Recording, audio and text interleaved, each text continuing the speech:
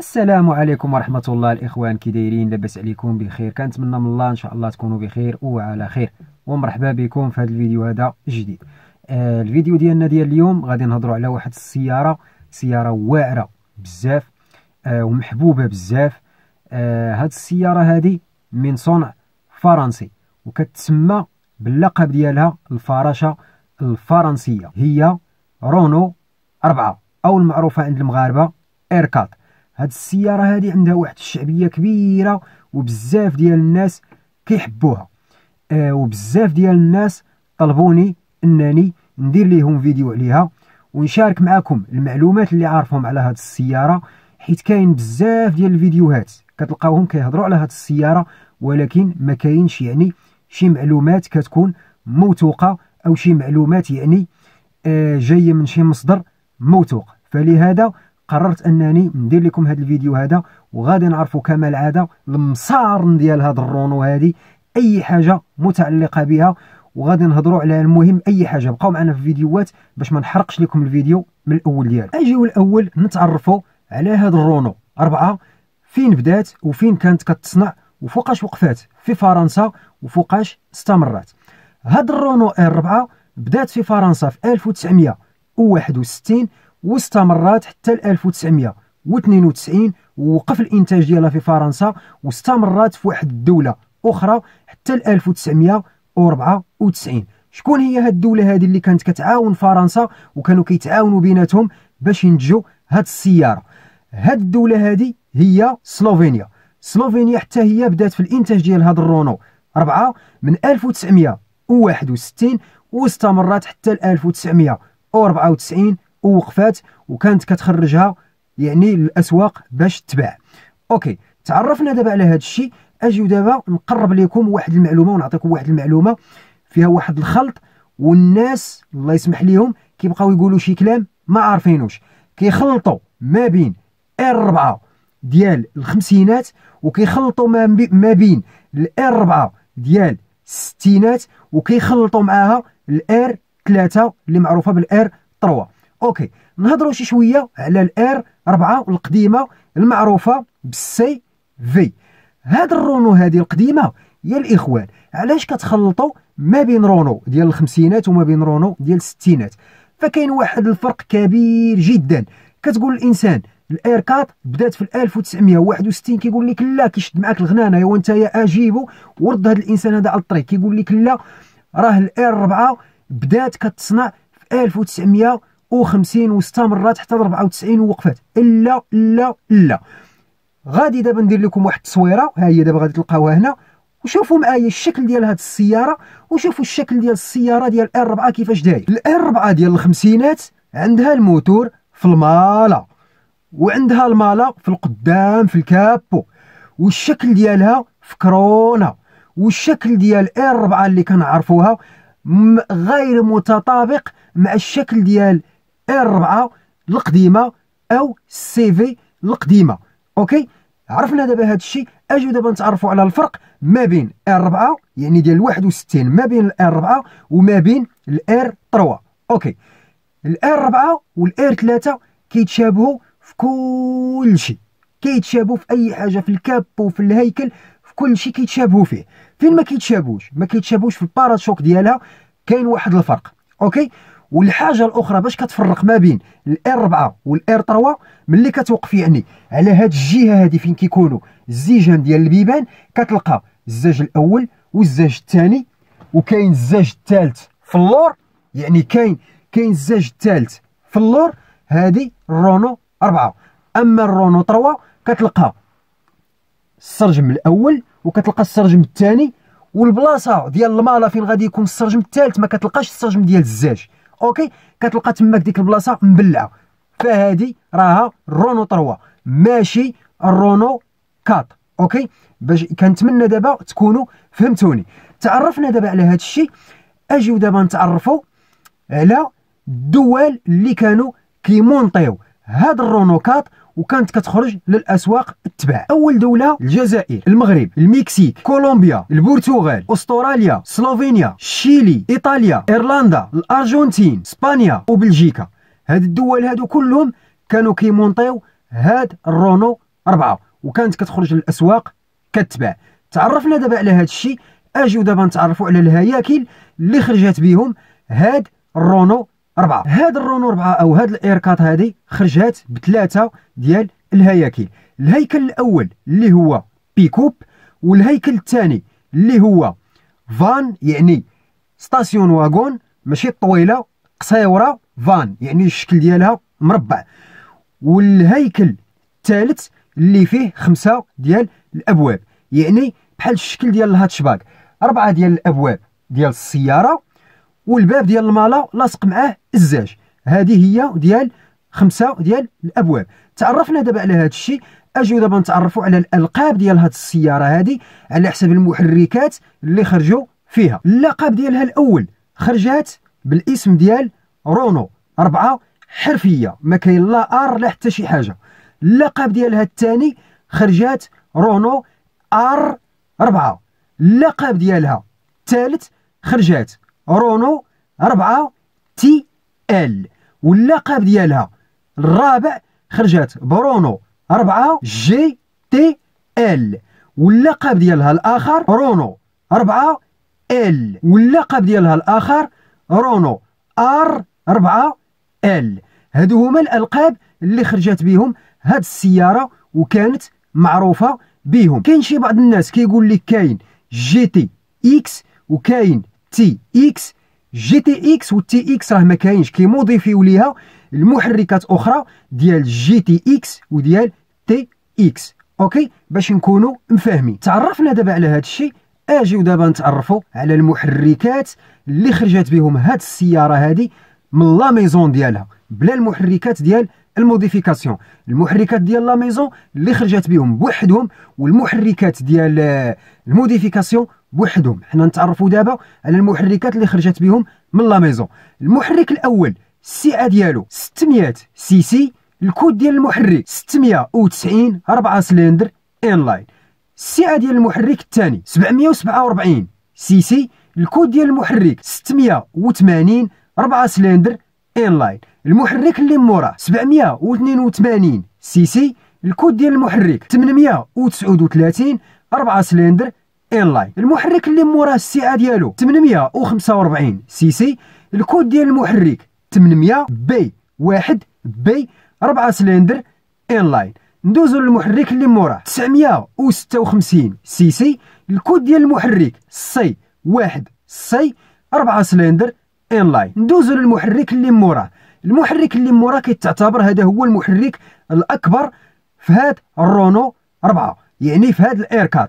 السعه ديالو 1.1 لتر الكود ديال المحرك C واحد E 4 cylinder in line هاد المحركات هادو اللي فيهم الكودات ديال ال C يعني هاد المحركات كيكونوا في بعض السيارات ديال سيتروين okay؟ وكاين واحد المحرك الملقب ب GTL.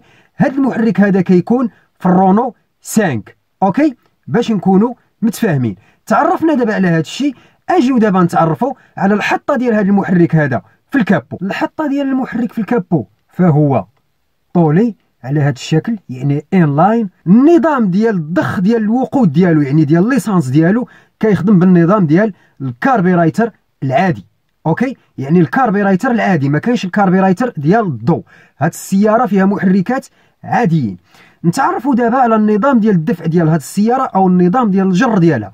النظام ديال الجر بهاد في هاد السيارة هذه فهي النظام ديال الدفع الأمامي أو الجر الأمامي. بالمغربية ديالنا السيارة كتجر بالقدام. تعرفنا دابا على هذا الشيء. أجيو دابا نتعرفوا على ال gearbox في هذه السيارة أو la boîte ديال ال vitesses.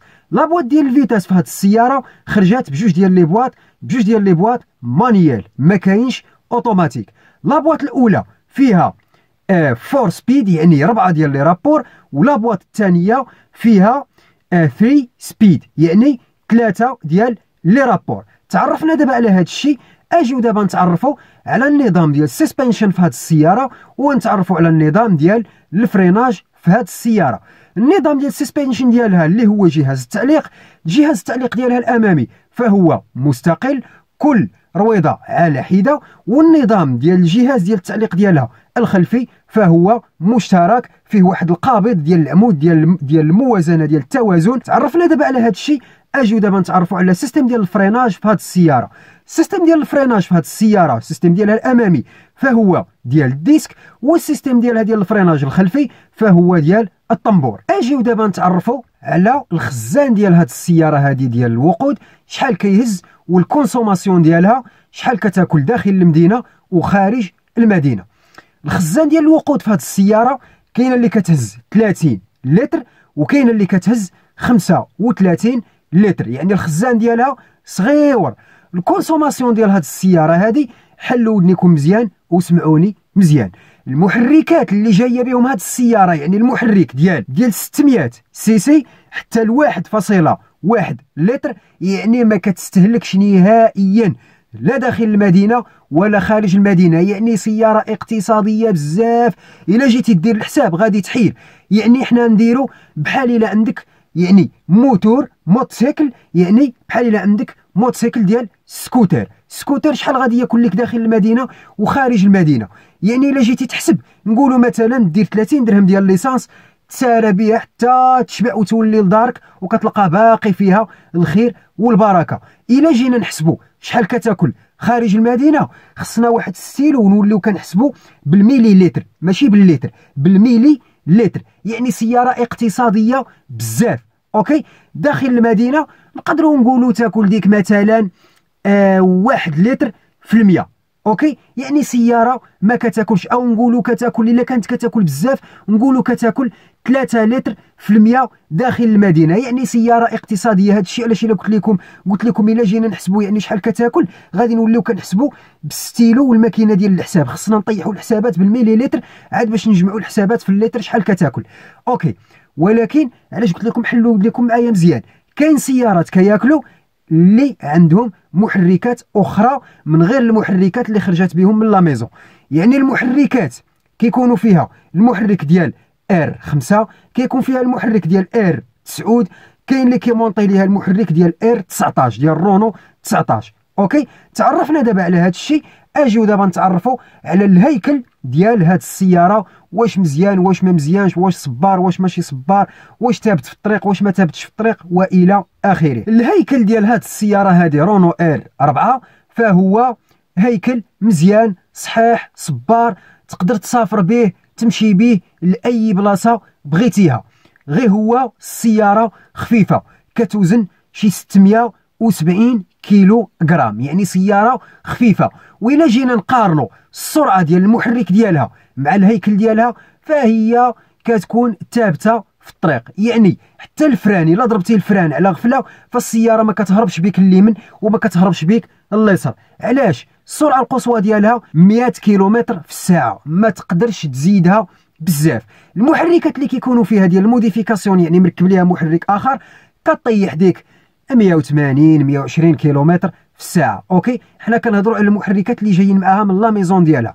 المحركات اللي جايين معاها من la maison ديالها فكيكونوا متوازيين مع الهيكل ديال السيارة. يعني الهيكل ديال السيارة كيكون ثابت بعض الشيء على الطريق واخا خفيف. يعني السيارة فارغة كتوزن 650 كيلوغرام ديال الوزن ديالها. مع الثقل ديالها والراكب انت اللي راك فيها حسب شحال فيك من كيلو وزيد طلع. يعني السيارة كتكون مزيانة الطريق ما كاينش يعني شي انحراف ما كاينش شي زليق ما كاينش شي حاجة وإلى آخره.